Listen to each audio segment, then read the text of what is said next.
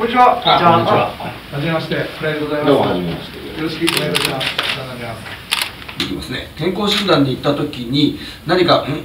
ちょっとこれはどうだろうっていうようなものが見つかった時にもおそれを適切な医療機関に紹介してもらうことができるしどうしたらいいかということを教えてもらうことができるということでかかりつけ医を持つということが大事上手な医療にかかるうことで医師の長時間労働を是正するという話にもつながっていましてあのかかりつけ医を持つということおが、まあ、えー結局は長生きにつながっていくということではないかと、まあ、我が輩の養子の仮の年齢よりも多分上なんですよ。村一時はだけどものすごい若々しいなハキハキしてるなキレがいいなというふうに感じました。その通りです。